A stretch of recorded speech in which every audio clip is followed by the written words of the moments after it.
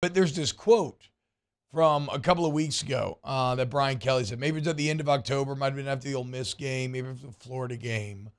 Uh, but Brian Kelly said, look, October is for pretenders, November is for contenders.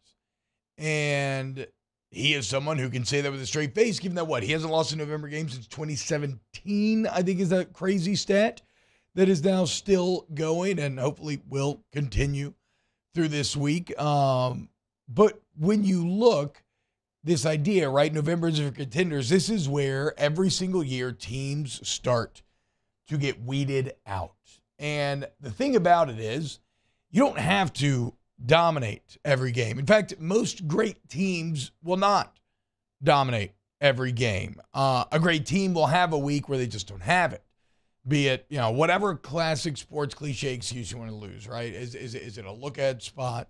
Is it some odd weather? Is it one of those weird rivalries? No matter who's good or bad, it always seems to go sideways and it's always close. But a great team, no matter which of those cliches are in play, and a team that is deserving of a playoff spot will find a way to win every single week. And that's what you saw a lot of these teams do this weekend, right? TCU found a way against Baylor. Now, it took some of the best and wildest late game execution that I've ever seen, but they found a way. They survived in advance. Michigan finds their way against a really good Bret Bielema Illinois team coming in that game at seven and three, supposed to get blown out. They didn't care. They had Michigan on the ropes. Michigan finds a way to get it done. On a cold day in Kentucky, Georgia doesn't have their best game, no offense to be spoken of. You know what? They handle their business. They do enough. They move on. USC out west in the biggest game of the day, the Rose Bowl, a beautiful venue. Two LA teams. It's been a while since we've seen a Pac 12 game, much less a USC USC LA game with this much juice in it. And USC and Lincoln Riley find a way to outlast and outscore UCLA in the Rose Bowl. Clemson beats down Miami. LSU shows great accountability, handles their business, beats UAB badly. But November is for contenders. And like I said, teams get weeded out. And unfortunately for volunteer fans, they were the unlucky loser in this case. And they have indeed been weeded out. And we're really going to stop and think about this for a second because it, it, it, kind of blows my mind when you take a step back and just say, oh, yeah, Tennessee. No, like, we're, we're going to think about this because Tennessee gets demolished by Spencer Rattler and Hendon Hooker tears his ACL. I mean, again, think about that. First off, uh, gutted for Hooker, obviously, right? Uh, this is the absolute worst part of the sport. It um, it, it it's just brutal. It's unfair. It's heartbreaking. It's all of these things, right? He's worked too hard. He's done too much good for himself, for his teammates, for that program, for that community. To now have to suffer this right before he's trying to go to the NFL and all these sorts of things, right? So just absolutely brutal. This is the part of the game that sucks worse than anything else. But when you look at this team as a whole, I cannot help but be blown away, astounded, flabbergasted by how little and how quickly this entire year just came crumbling down for Tennessee. I mean, think about it. This is a Tennessee team that has been the toast of the college football scene for the entire year. All right, the entire season, this has been their season. This has been the story of their rise. I mean, they've played in the most watched games on the year. First, LSU, or first Tennessee, Alabama was the most watched game. Then Tennessee, Georgia still is the most watched game of the year. Obviously, they played in games like LSU, which were high. Like, so if, if you looked at a top 10 list, Tennessee's going to be all over that.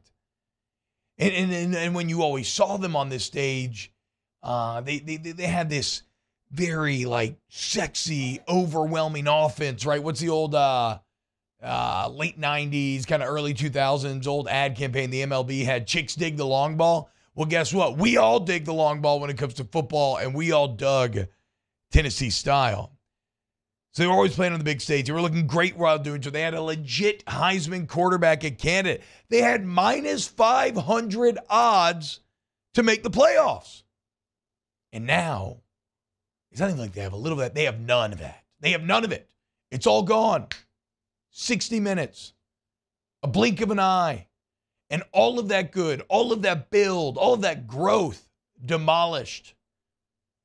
It's disconcerting in how quickly the end can come. And let's zoom in further. Because the worst part is, is that it all comes in the hands of a South Carolina team that if you look at the Gamecocks last three weeks previous to this game, they lost 24 10 to Mizzou and 38 to 6 to a Florida team that just got their ass kicked by Vanderbilt on Saturday. What? It's insanity. Tennessee were 22 point favorites. Vegas always knows, right? We say it all the time. No, we just always eliminate the times that Vegas is wrong and the times when we have these bad beats where we barely win or it's close. We're like, oh, yeah, they always are. And then they look, they're great. I get it. I get it. But you never really know what's going to happen. And this is yet, as we enter playoff season, and we talk more and more about it, and you're going to see people fading TCU or fading this team or that team for, oh, they barely won this game. They barely won that game. Yet another example of why resume and actually winning the games you play matters more than anything. More than anything. Because you can tell me who you think is better, but you never really know what's going to happen on game day. How many would have, how, how many of you would have picked South Carolina to win this game? Much less South Carolina throw up over 60 points and for Spencer Rattler to those six touchdowns. I mean, really think about this, guys. Spencer Rattler coming into this game on the season had eight touchdowns to nine picks, boys, on the year. And I know this is a slippery slope to play here, but if you take away the Vanderbilt game, in which he threw three touchdowns and no picks, he had five touchdowns to eight picks on the year. He threw zero touchdowns against Charlotte. And now he just threw six Saturday night against the number five team in the country, nearly matching his season total. I mean, it's absurd. It's absurd. And nobody in their right mind ever would have expected or ever would have predicted that. I mean, you play this game 10 more times, Tennessee probably wins nine of them. Unfortunately for Tennessee fans, they happen to live in the reality where the worst possible outcome took place. So the point of all of this, you're like, why are you talking so much about Tennessee? No, no, no. The point of all of this is never take winning for granted. Be wary of looking ahead.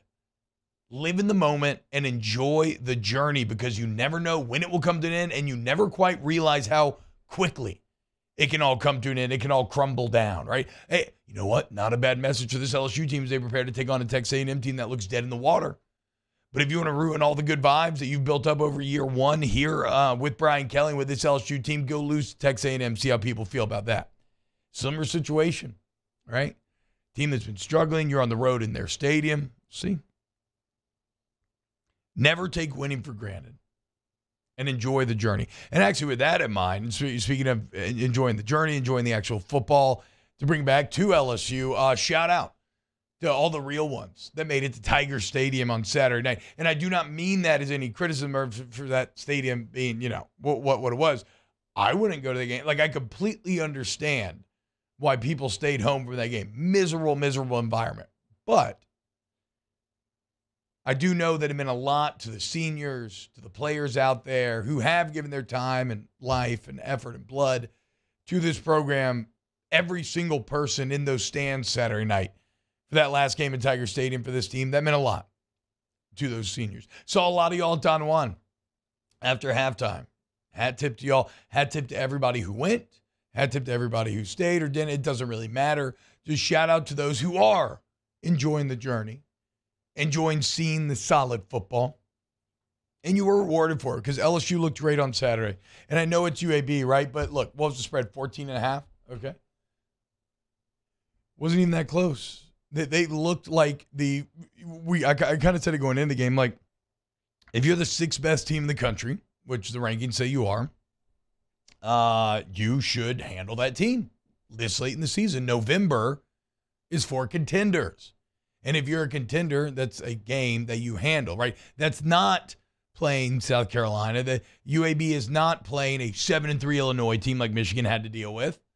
It's not playing a six and four Baylor team led by Dave Aranda that's been up and down, but you know still has the ability to really punch up. No, no, this was a game you needed to handle. And if you watch Brian Kelly's post game, the word that he kept going back to was accountability. And I think that's very appropriate, right? Being accountable to yourself, to the work you've put in, being accountable to the brother, your brother, and the work they've been put in, and being accountable to what you've put on tape the entire year. And I thought it was a very mature win from this LSU team, and it was the exact type of win that they needed, both offensively and defensively, to um, maybe wash out some of the taste from the Arkansas trap and kind of refocus going into Texas A&M for this Thanksgiving week. So, a wild, underdog-filled day of college football on Saturday, but not for your LSU Tigers. A great performance, um, all in all.